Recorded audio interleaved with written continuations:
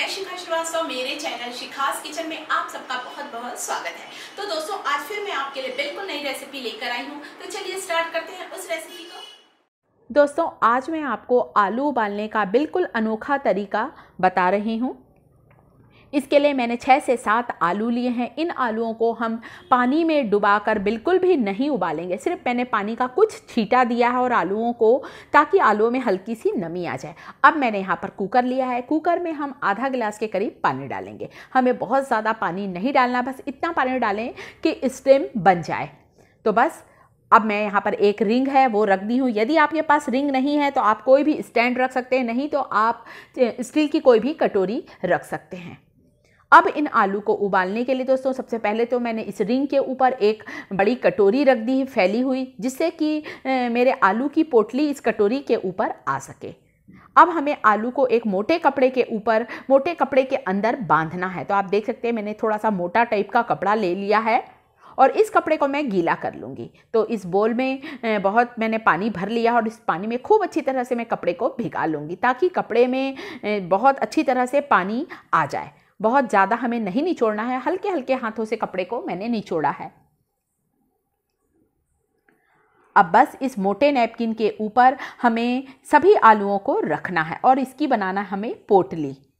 तो हम आलू को बिल्कुल भी पानी के अंदर रख कर नहीं उबालेंगे। हम सिर्फ़ इसे भाप में पका रहे हैं ताकि आलू के जो भी पोषक तत्व हैं, वो नष्ट होने ना पाए, पानी में बहने ना पाए। तो इसके लिए आपको जो भी कपड़ा लेना है दोस्तों, वो थोड़ा सा मोटा लें। मोटा नैपकिन लें तो उससे क्या होगा? वो मोटा नैपकिन लंबे समय तक के पानी को एब्जॉर्ब कर लेगा और बहुत अच्छी भाप बनेगी और हमें अपने आलूओं को भाप से ही पकाना है। तो मैंने इसकी पोटली तैयार कर दी है आलूओं की। अब आप देख सकते हैं, इस पोटली को मैं डायरेक्ट कुकर के पानी में नहीं रख रही हूँ। मैं, मैंने ये जो प्लेट रखी, उसके ऊपर आलू की पोटली को रख दिया है। और बस, अब आप कुकर का ढक्कन लगा दें, कपड़े को थोड़ा सा नीचे झुका लें, ताकि मेरा ये जो ढक्कन है वो आसानी से बंद हो जाए। आप चाहें तो थोड़े से कम आलू भी ले सकते हैं या थोड़े से ज़्यादा आलू भी ले सकते हैं, यदि बड़े साइज़ का कुकर है। तो तो छः से सात आलू को मैंने इस तरह से रख दिया है, बिल्कुल भी पानी में मैंने नहीं डुबाया है। बिना पानी में डुबाए हुए ही आज हम आलूओं को उबाल रहे हैं या कह सकते हैं आपकी पका रहे हैं।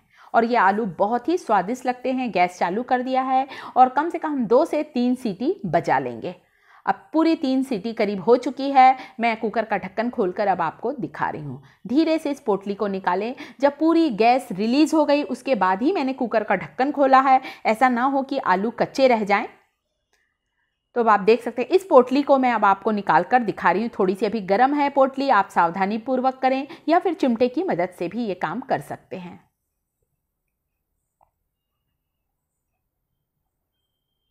अब कुकर की रिंग को मैंने निकाल लिया तो ये रिंग रखना बहुत ज़रूरी है ताकि जो हमारी प्लेट है वो ख़राब ना होने पाए मतलब आलू हमारा प्लेट में अच्छे से आ जाए। अब आप देख सकते हैं इस पोटली को खोलकर मैं आपको दिखा रही हूँ। सभी आलू बहुत ही अच्छी तरह से उबल चुके हैं। जो एकदम छोटे साइज़ का आलू था, वो तो बहुत ही ज़्यादा पका लग रहा है। ये देखिए कितने आसानी से हमारा आलू छिल रहा है।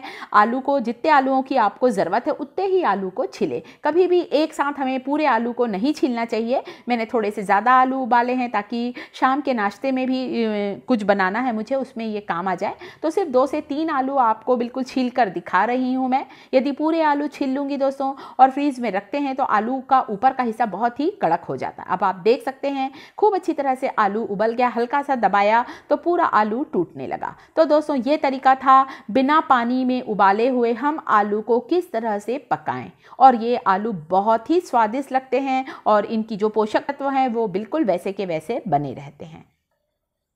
तो दोस्तों रेसिपी अच्छी लगी हो तो आपको करना है लाइक साथ ही साथ मेरे चैनल शिखास किचन को यदि सब्सक्राइब नहीं किया है तो प्लीज़ उसे सब्सक्राइब ज़रूर करें। साथ ही साथ कमेंट करके ज़रूर बताएँ कि आपको मेरी ये रेसिपी कैसी लगी।